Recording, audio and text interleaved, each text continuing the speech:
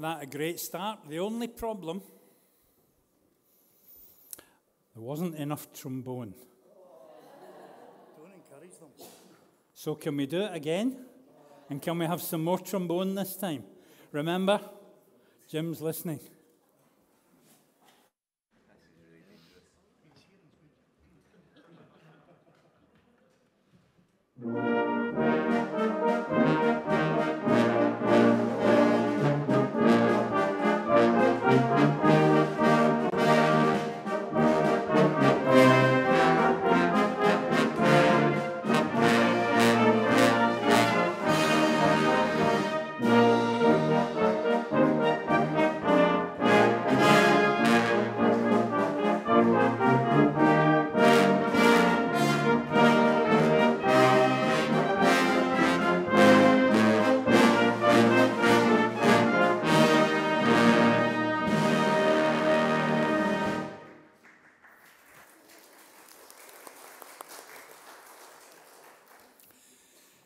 It's a privilege and a pleasure on behalf of the family to welcome you all here this afternoon, to remember the life and to give thanks for Jim, for everything he did, for who he was. It's been great as I've been wandering around hearing various stories from people on and off the platform about Jim. Just what a friend he was and all the little things that you don't actually hear until an occasion like this. People that were really friendly, um, people that he encouraged in the background, all these kind of things. So it's really lovely to hear all these stories. And this afternoon is a Thanksgiving. So Thanksgivings are happy times because we know where Jim is. He's with his Lord, whom he served for years and years and years. In fact, a few people have said, I wonder how much money he enabled this corps to raise over all these years. Be great if we could find out. It must be a fabulous amount. But that was just one of the many things that he did. It is disappointing that Mary can't be with us. Um, she had to go to casualty um, this morning. Um, she had an operation a couple of weeks ago and I had a bit of a problem this morning, so she's in casualty. About quarter past 11, we heard that she is at least in a cubicle, so uh, she is now being seen. Um, but uh, this service of Thanksgiving will actually be recorded, so she will be able to see it and hear it. But I'm sure our thoughts and prayers are with Mary, especially at this particular time. So thank you on behalf of the family um, for coming. It's good to have all of you here. I will turn around every so often because I don't want to miss all these good folk out up here. And I'll keep looking over in the trombone section. So don't go to sleep, Gordon. but I also want to say thanks to Corps Sergeant Major David Henderson and the people in Clydebank um, who've also made this possible. Thank you very much indeed. Band have opened with something bright. Now we're going to sing, and everything that is on the order of service for this afternoon has been chosen by the family. And we're going to sing, Great is the darkness that covers the earth, oppression, injustice, and pain. Come, Lord Jesus. Come, Lord Jesus. Pour out your spirit, we pray. So let's stand, please, shall we? The words will be on the screen. And if you're using the Salvation Army songbook, it's number 220. Let's stand, please, and follow the bandmaster.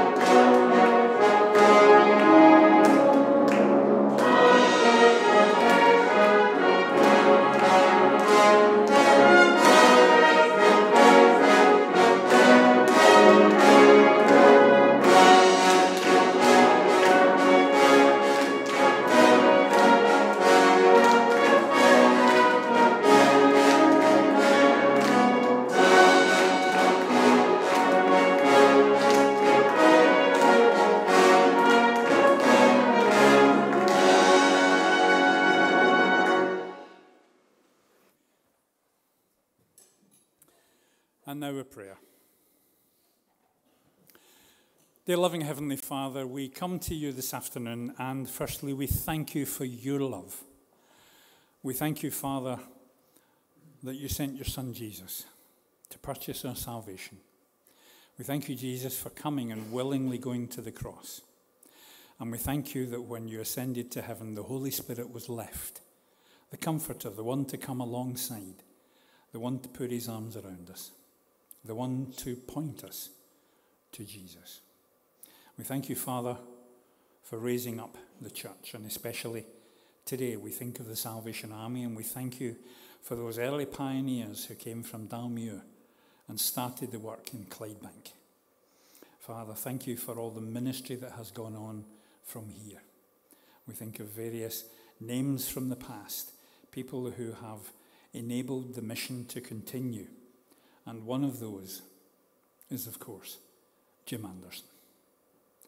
Thank you, Father, for the opportunity we have had of knowing him, of loving him, of seeing his service. Much of it done in the background, encouraging and planning.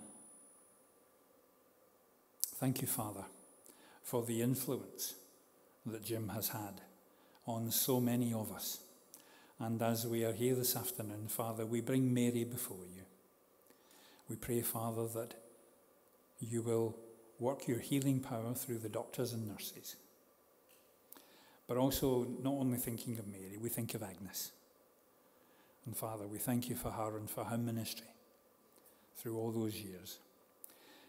Be with us each as we share this time together and as we hear various spoken memories and as things flood into our minds and as conversations have already happened and will do, Father, we just thank you for the opportunity we have of being here today to celebrate the servant of God.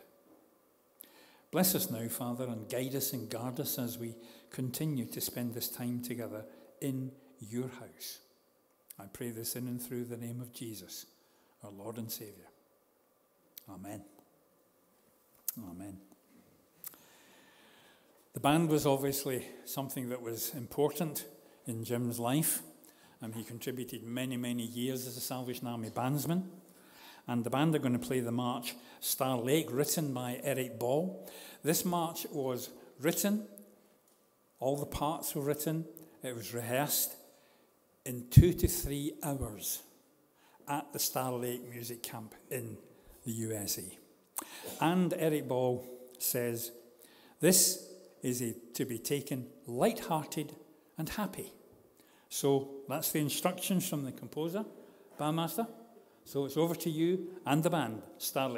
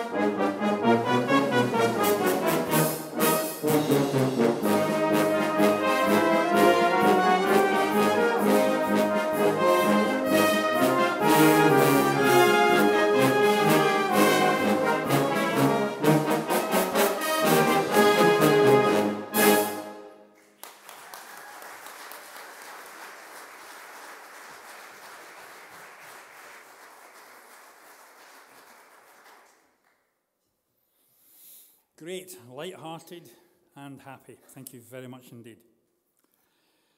If we were to give opportunity for tributes to be given this afternoon, we would still be here this evening. So, um, bandmaster, retired bandmaster Peter Fuller, um, worked very closely with Jim for a number of years and I think was his bandmaster for over 50 years.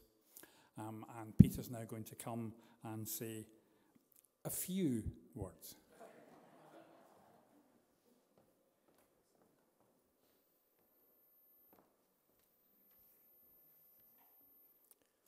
Ivor knows I'm always very quiet and don't have much to say, so. On a more serious note, I do count it a privilege today to uh, speak about my old friend, James Cunningham Anderson. How nice that, isn't it? James Cunningham Anderson, but I think we'll just call him Jim. He was born and bred in Dalmuir. He lost his father when Jim was only eight, and therefore he was brought up by his mother. It was in 1967 that I first met Jim when I came to the corps here at Clydebank. And in the subsequent 54 years, I was able to watch a man of God diligently going about his work in the corps, always committed and conscientious in everything that he had to do. Jim held many local officer positions in the corps, usually when no one else would do it.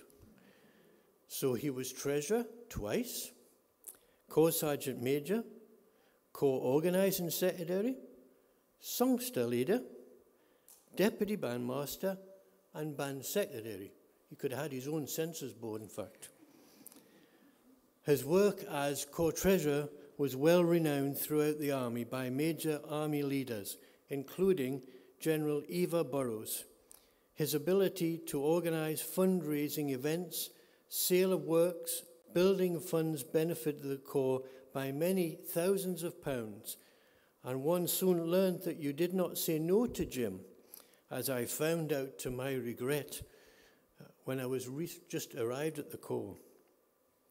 Jim said to me, We've got a seal of work, and um, I need someone to wear the red suit. And I said, Oh, okay, okay.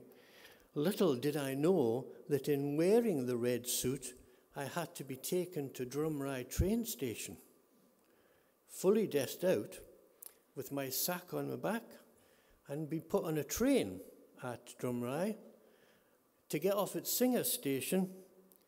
And then I thought that was my agony finished. When I got off at Singer's, there was a lorry with a throne on the top. And I had to climb up this bloomin' lorry. I was then transported throughout the whole of Clydebank in every street, I think, where I had to ring my bell. Jim was very keen on fundraising, as you all know, and he helped so much with the Sing Company's trip to Paris many years ago. And, also, he helped me with the band tours of Copenhagen, Iceland, and Sweden. Jim was a great family man, married to Agnes for 42 years, and together they had two daughters, Carol and Elaine, smiling there. Well, nearly. He was particularly keen to spend time with his family, and he loved playing tricks on his grandchildren. I think I've seen a picture of him crawling along the floor with grandchildren on his back.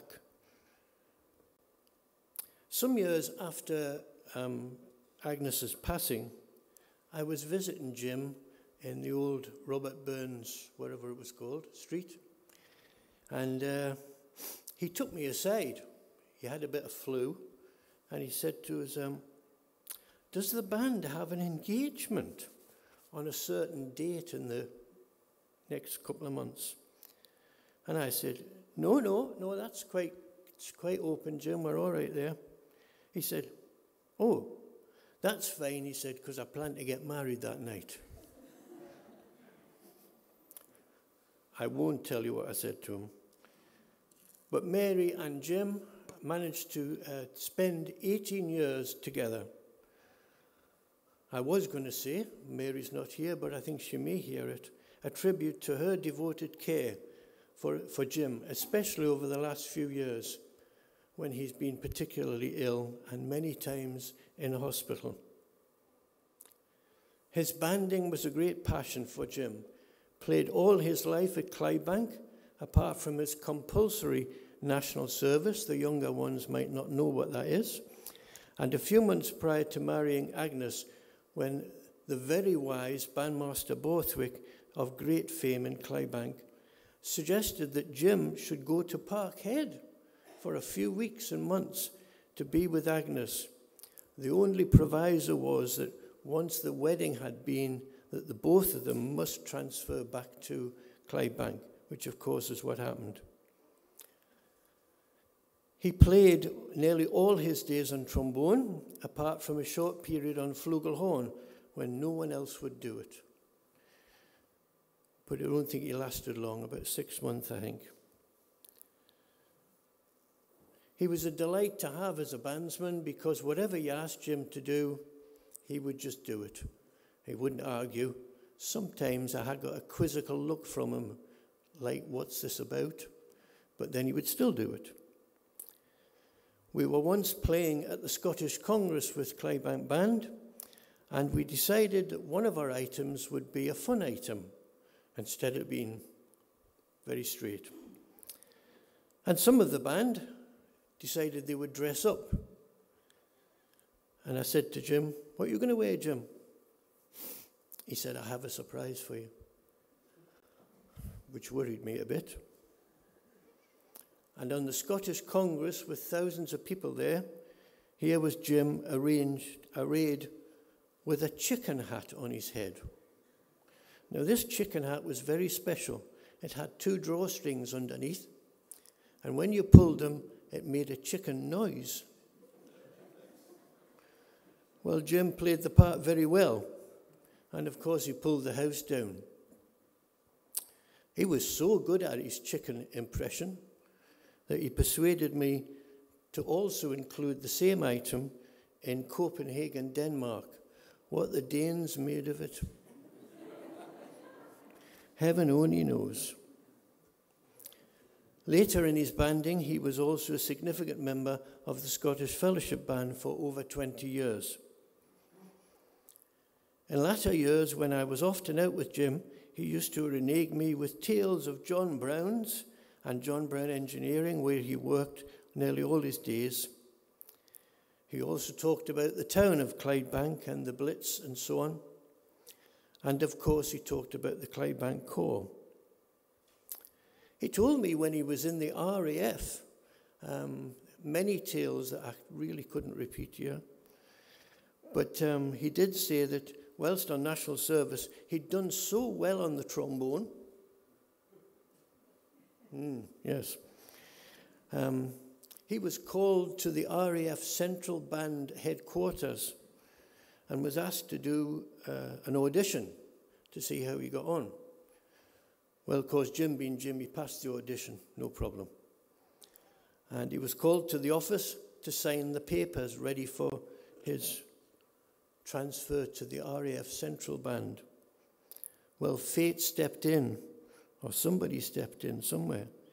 Just before he signed the form, the man said to him, You do know that the minimum turn in the RAF Central Band is seven years. And Jim said, Hmm, not for me. Thank you. Bye bye. And off he went back to his ordinary band. Trying to sum up Jim is difficult. He was a loving man, family man, a man of integrity, commitment, dedication. I, I do believe not only to the corps here at Clydebank, but all to his, to his Lord. Jim will be missed by many, particularly his close family and friends. But I believe that his influence will live on here and uh, the stories of Jim will go on for a long, long time. And so I conclude. Well done, thou good and faithful servant.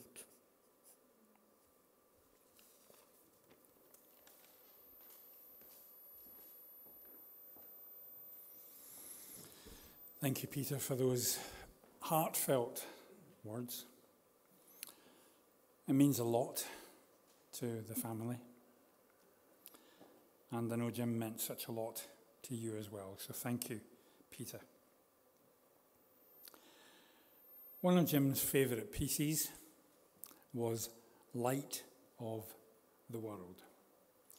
This is a piece of music written around a painting by Holman Hunt, where Jesus is depicted as standing outside the closed door of our heart. In the picture, the door is covered with vines and brambles. And one art critic apparently commented to the artist there is no handle on the door. To which Holman Hunt said, That's right.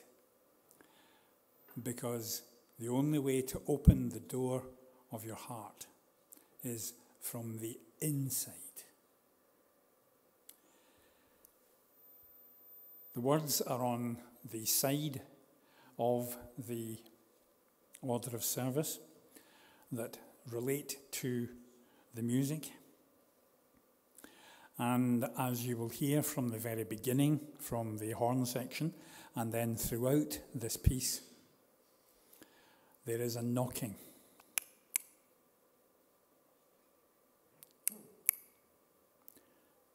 Depicting Jesus knocking at the door of our heart.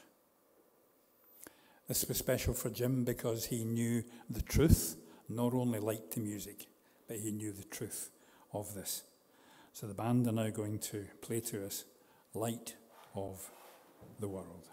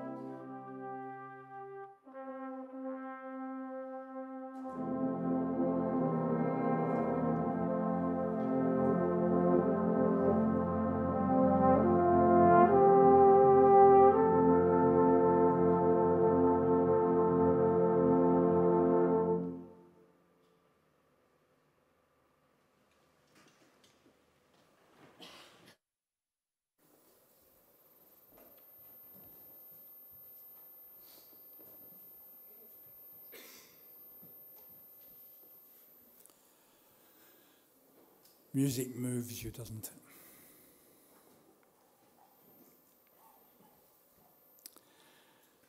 Long-time friend George Howie is going to bring to us one of Jim's favourite Bible readings, Psalm 23. And in the last number of years, when Jim was in the fellowship band, George would always come round and pick Jim up and take him along to the fellowship band. But George could speak for hours, I'm sure, of all of the great times with Jim. So um, George is privileged and wants to read the scripture reading for us Psalm 23.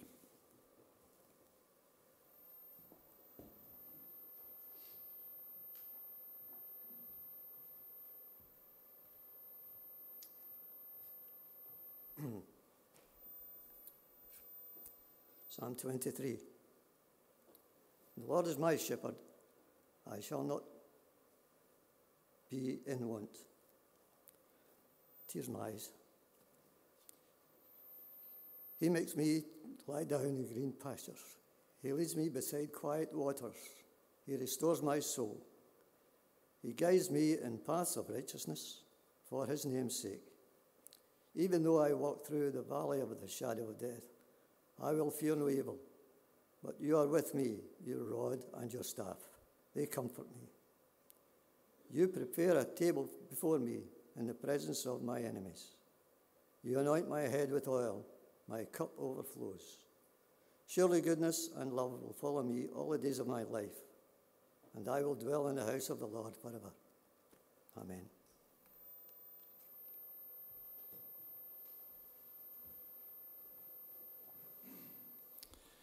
Thank you, George.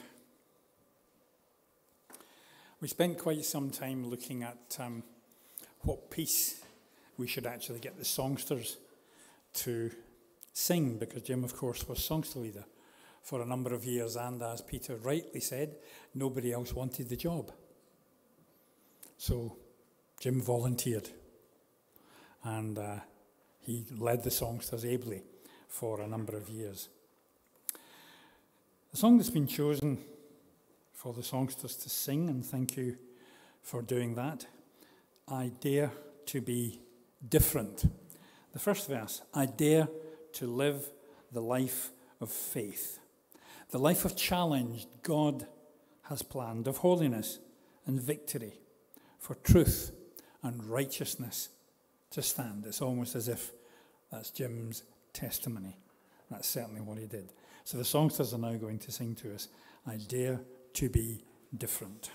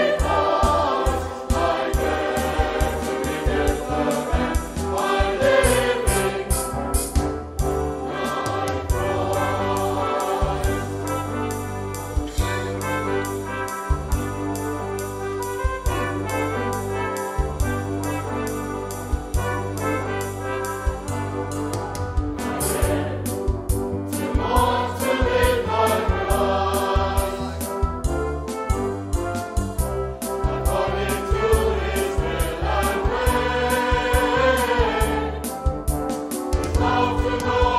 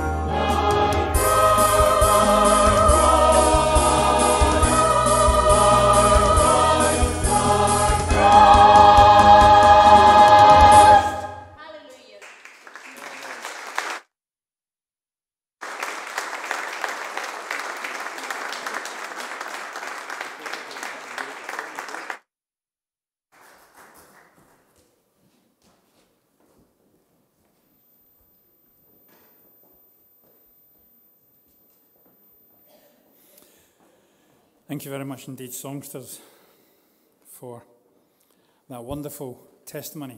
Jim didn't speak a lot and wouldn't like a sermon, or wouldn't like to give a sermon. He had to do that from time to time. But there's no sermon this afternoon. Thank you, band. and instead, I just want us to think on one phrase that was in that song by living like Christ. If we had any kind of phrase, and we can think of lots to apply to the life of this wonderful man, my father in law, Jim Anderson. That's one that I would use. He didn't talk the talk, he walked the life that God had planned for him. May we do that in our lives. Closing song Simply Trusting Every Day, 892 in your songbook if you have it there. Simply trusting every day. That would also be Jim's testimony as well. Trusting through a stormy way, even when my faith is small, trusting Jesus. That is all. And of course, we've got to have it to the tune, Will You No Come Back Again? And we need to stand as we sing it together. Thank you.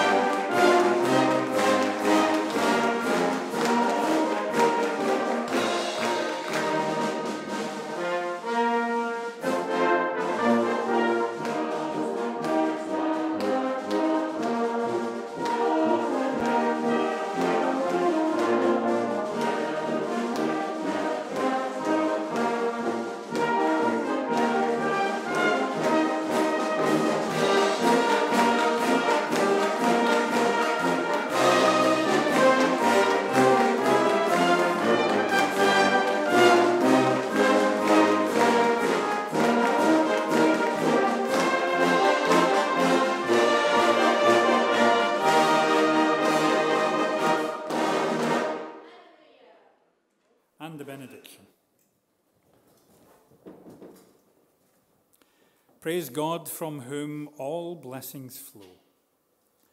Praise him, all creatures here below. Praise him above, ye heavenly host. Praise Father, Son, and Holy Ghost. And Father, it's you we have been worshipping as we have heard this afternoon about one of your servants.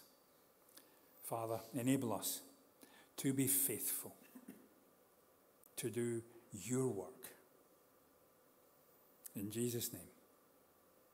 Amen. Amen. To conclude, the final salute by the band is the march Mighty to Save, a good old fashioned Salvation Army march. And of course, with that message again Jesus is mighty to save. And uh, the bandmaster has asked Deputy, the retired bandmaster, Peter Fuller, to conduct this, who I'm sure will want to get a lot from the trombones.